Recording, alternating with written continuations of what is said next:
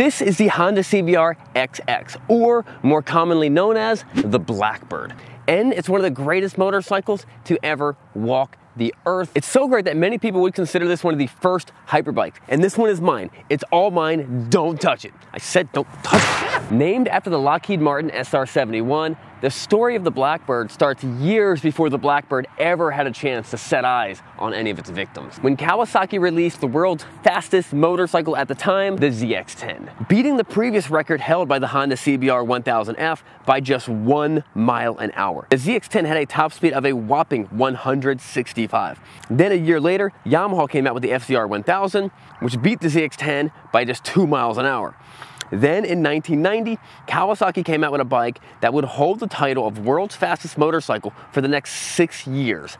The Kawasaki ZX11, which had a top speed of 176 miles per hour. But six years later, in that awful year that we called 1996, when the Beanie Babies came out, just when it seemed like nothing good could happen that year, God released His grace upon the earth and once again blessed humanity with the Honda Blackbird. Until this day, the Honda Blackbird is still the fastest motorcycle in the galaxy with a top speed of 176.5. We round that up to 177, round that up to 180, still crushes everything. That is not true. Two or three years later, the Hayabusa came out and just destroyed everything um, for the next couple of decades. And now I know what all you young 600cc super sport guys are out there saying. That bike is old, my bike is new, I can smoke it. No, you're not. Your bike is not this fast. Just because this bike is over 25 years old is and is considered a classic does not mean it's slow. To this day, you will still find Blackbirds out there on the street, on the track, just slaying 600s, 750s, and 1000s, especially with the right rider on it. The Blackbird's inline fuel injected four cylinder lays down 162 horsepower to the wheel. And I mean, that back in the day, that was huge. 20 more horsepower than anything else out there. And it sends its power from the engine through a six speed close ratio gearbox, and all that gets connected to the pavement through a 180 55 17 inch tire. And claims a 0 to 60 time of 2.77 seconds. That's as fast as a McLaren 720. You might notice that compared to modern 1000s, this bike is a little heavy. It tips the scale at 560 pounds, where a new CBR is gonna be almost 100 pounds lighter. But as you can tell, this is a bigger motorcycle than a CBR 1000. I mean, I've got much more, I got much more room on here. So a better comparison than this versus the liter bike would be the Hayabusa. And this compared to the brand new, the third gen Hayabusa, this is 22 pounds lighter. The Blackbird's also significantly more comfortable than the average sport bike because the way they got the, the pegs, but also the clip-ons are above the triple tree, like also similar to the Hayabusa. I mean, this really set the stage of a big, fast, touring hyper bike.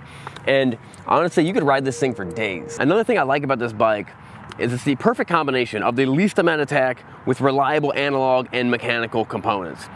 The Blackbird is very well known for being incredibly reliable. And the next thing you'll realize about this bike is right here. You don't see this on many bikes, linked braking system. Now what that is, is it connects the rear brake to the front brake. So if you're doing slow maneuvering, it's not gonna do anything, it's gonna bypass it, and it's not, it's not gonna do anything.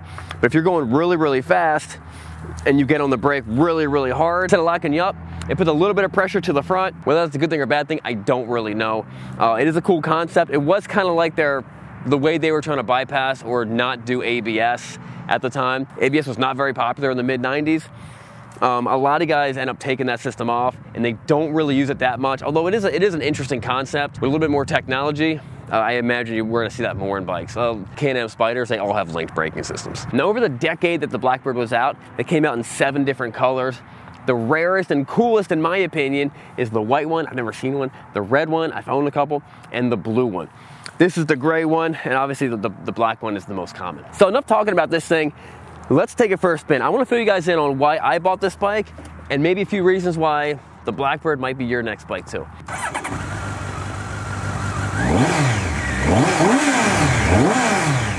right, guys, before we jump on the bike and do this ride, let's do the words of wisdom real quick. Mark 13, 33, take heed, keep on alert, for you do not know when the appointed time will come and that's talking about the uh, the returning, the second returning of Christ. I had to take this bike for a spin, put on my gloves, Now this bike, this particular bike has 31,000 miles on it. Nothing for one of these bikes. They also put heated grips on it. I'm not a big fan. I mean, they're handy when it's cold outside, but I don't like the way they feel. Do, however, love the fact that this bike just works. It always, it always works. Check this out.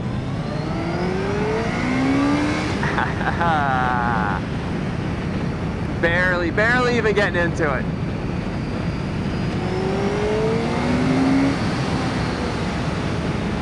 Now this is a, it's this, this bike is on the larger side of the uh, of the four-cylinder high-revving sport bike engine. This thing revs up to almost 11,000 RPMs, which is uh, pretty nuts.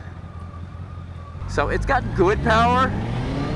It's got good power at the lower RPMs. Mid-range is nice, but I, it doesn't really kick in until the higher end. So let's uh, let's go find the higher end of our RPMs.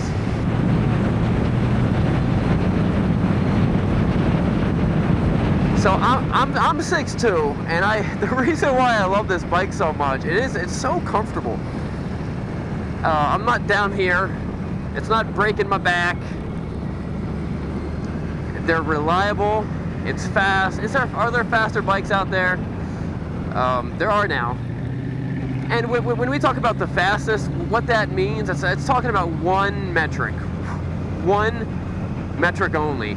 And they're just talking about uh, top speed not really accelerating. Although when this did came out, this had, this had significantly more horsepower than the other bikes did.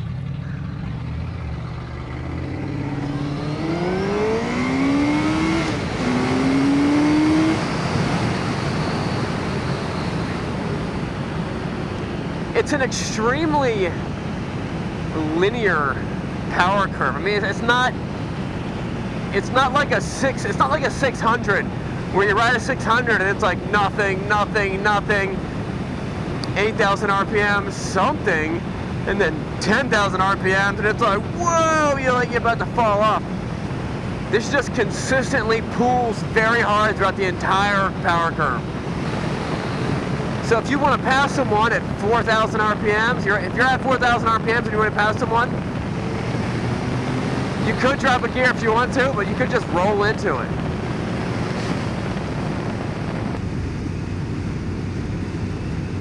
in my opinion, um, I think it's a good looking bike, but the two things that really dated is that goofy looking front headlight.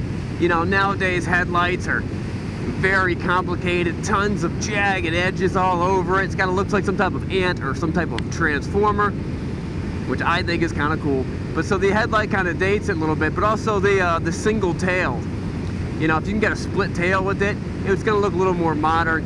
Uh, start start looking at older 80s 80s uh, super super sport bikes. You're gonna notice that the tail is like, oh, they they actually expected you to put your girl on your back on the back, which come on, we all know that's just not it's happening, but it's not. It's probably not the best idea. It's not. What I mean is, it's not meant for it. Is is what I mean. Nothing about a motorcycle. Nothing about a motorcycle is meant for someone to be on the back, or nothing about a sport bike is meant for someone to be on the back.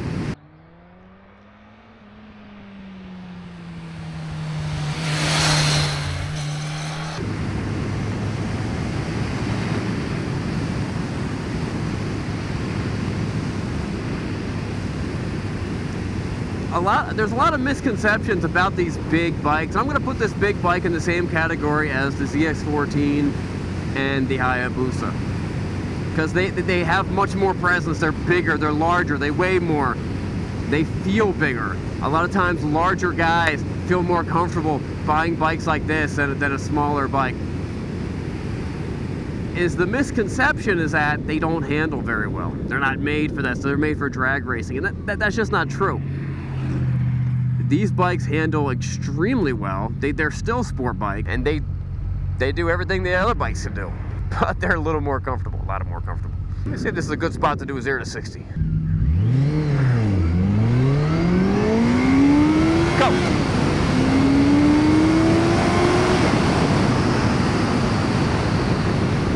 I did, uh, I did continue, I did continue accelerating after that, but um, this is a closed course road. The speed limit's 60 on this road. That's pretty quick. it could have been faster. So the story behind this particular motorcycle, I was not, um, I've owned a bunch of Blackbirds. I really liked them. Always wanted to have one that, that I could keep. And a guy came in, he was looking to sell it. It was at the time that I was looking to get rid of all the bikes I had. I was selling a bunch of bikes at the time. And he comes in and he's like, hey, I want to sell this bike. And man, I just wasn't, I wasn't that interested in it. Um, cause I, I was trying to, I was trying to like slim out my inventory. And he's like, make me an offer. And I was like, well, I mean, I, I don't want to insult you. And he's like, I won't be insulted. Just make me an offer. And I tell him 1300 bucks. And he's like, yeah, let's do it. So I got it for 1300 bucks. And the story behind that, behind that bike, the story behind him was that he had two of them. He found this one, had a bunch of cool parts on it that he really liked. And he took all the parts off and put stock parts on it. And he, did, he didn't need to them. He didn't, he didn't, he needed more space in his garage. So he probably made money off the deal for all the cheap parts he got. And that's, uh, that's the story of this bike, and that's why I love it.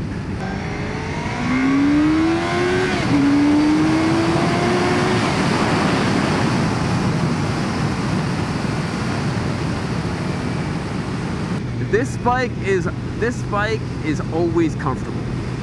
You're going 15, yeah, it feels good going 15. You're doing 115, yeah, it feels good doing 115. You're doing 155. It just, it always feels good and solid. Now, let's get to that thing that I said, said earlier.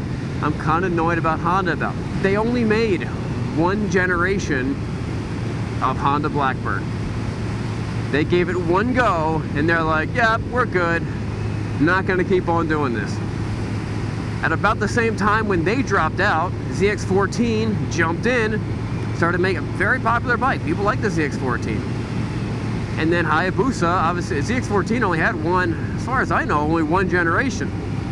Hayabusa came out in 99, and another one in 2008, and then the third one, I think 22 or 21. Um, how cool would it have been Honda would have been so far ahead of the game if they would have kept on making Blackbirds, Blackbird Gen 2, Blackbird Gen 3. I mean, the CBR 1000 is an amazing motorcycle.